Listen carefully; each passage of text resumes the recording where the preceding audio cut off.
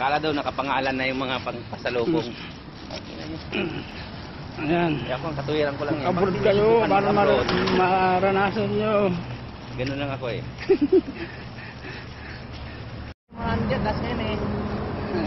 Ano, anong kala nyo sa akin? Mayaman? Buwan-buwan, nagtitiis. Ayan, oh, may isda, may bigas. Oh. baka madali tayo ng ulit. Tapos, kala pag buwan-buwan, maraming pera, ha?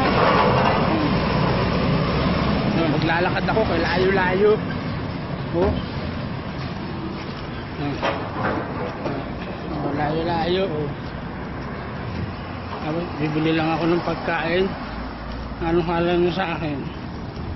Buwan-buwan? ATM? Ha? Hindi mo naman pinapagalitan mo. Baby. Akala nyo ha? Kung makahingi kayo ha? Oh, yan na, tapos na.